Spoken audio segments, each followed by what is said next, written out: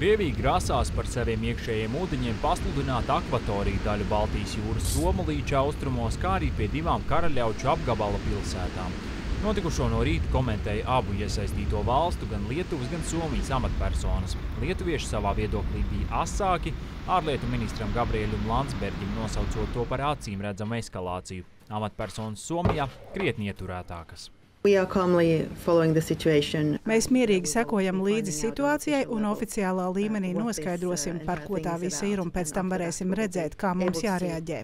Saziņā ar Lietuvas un Somijas atbildīgajām iestādēm ir arī Latvijas ārlietu ministrija šodien norādīja valsts prezidents Edgars Rinkēvičs.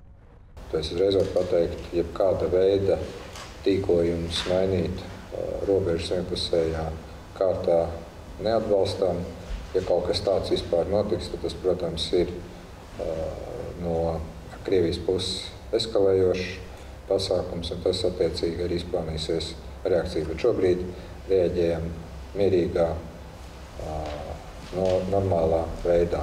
Ārpolitikas ekspertu ieskatā šāds Krievijas plāns nenorāda uz kādām jaunām tendencēm. Tas drīzāk ir tikai viens solis agresoru kopējā hibrīdkarā. Tas nav skatāms atrauti no, no šiem pārējiem procesiem. Nu, kā mēs zinām, ar vien vairāk informācijas ir par dažādām Krievijas mēģinājumiem veikt sabotāžas. Uh, nu, arī tuvākā laikā ar vien vairāk intensificēs to komunikāciju par viņu kodolmācībām. Nu, šo es redzu kā vienu no tiem elementiem šajā kampaņā. Man šķiet, šajā gadījumā Krievijas primārais mērķis ir nu, veidot tādu trauksmi, radīt satraukumu, lai atkal mēs runājam par Krieviju, runājam par Krieviju šo radīto apdraudējumu.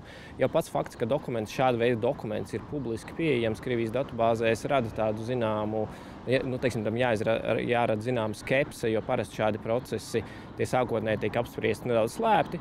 Un tad tiek sagatavota attiecīgā dokumentācija, lai iesniegtu tajās institūcijās, kas, piemēram, reglamentē šo starptautisko jūras robežu piedarību. Vaicāti, kādai būtu jābūt rietumu reakcijai, eksperti norāda, pirmkārt, līdzīgi kā to jau uzsvērušas amatpersonas, būtu jāsagaida oficiāls lēmums, otrkārt, jāparāda, ka esam vienoti gan Eiropas Savienībā, gan NATO, un treškārt, jāsaglabā esošā nostāja, ka turamies pie starptautiskajām normām. Turklāt, kā norāda Jānis Sārts, jāatceras arī tas, ka Krievijas militāra strateģiskā pozīcija Baltijas jūrā ir ļoti ievainojama. Krišs Kairs Olfs Perševits, Latvijas televīzija.